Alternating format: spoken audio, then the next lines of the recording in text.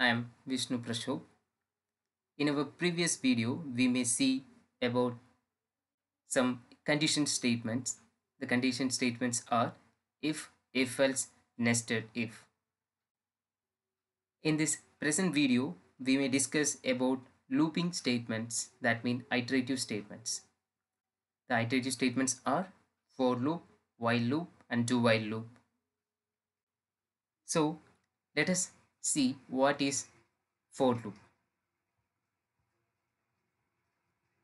For loop. The for loops are a sequential traversal. It is a sequential traversal means it, it is a one-way path of accessing a range of data. We all know in C and C++ these kinds of syntax is followed for initiating the for loop condition.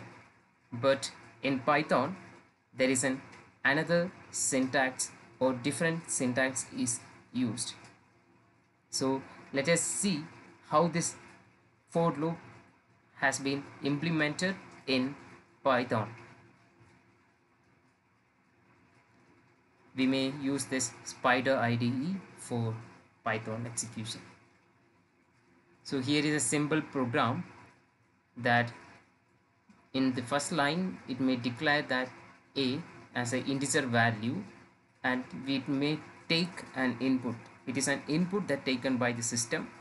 So we, we get an uh, enter the value as a message. And in second line we have four for loops uh, initiation statements. That is for i in range. That is the range is the main condition in the for loop that uh, initiate from 1 to a plus 1 that means a plus 1 means uh, the uh, we, we may discuss that in when the program get executed.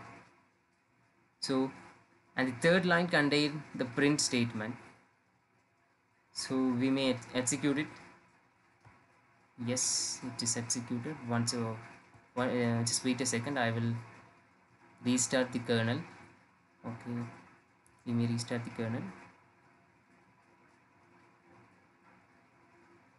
Yes the kernel is restarted. Yes uh, now we will execute the program.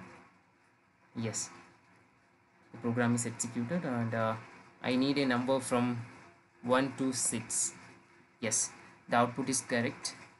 If I take this a plus 1 and I execute the same program that will give sorry that will give a output from 1 to 5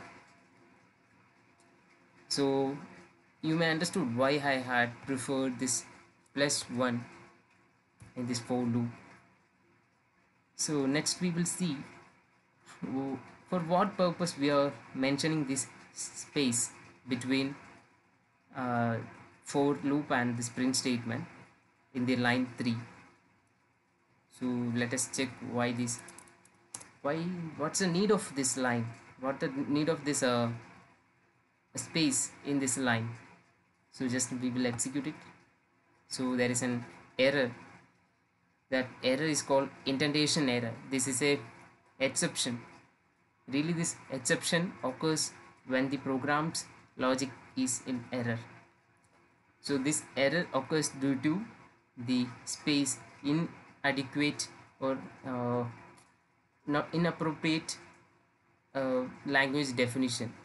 So just we will add a tab. Yes if you add a tab the program gets correct and uh, if you execute it it will start running so this is a simple for loop statement used in python. See you in next video. Bye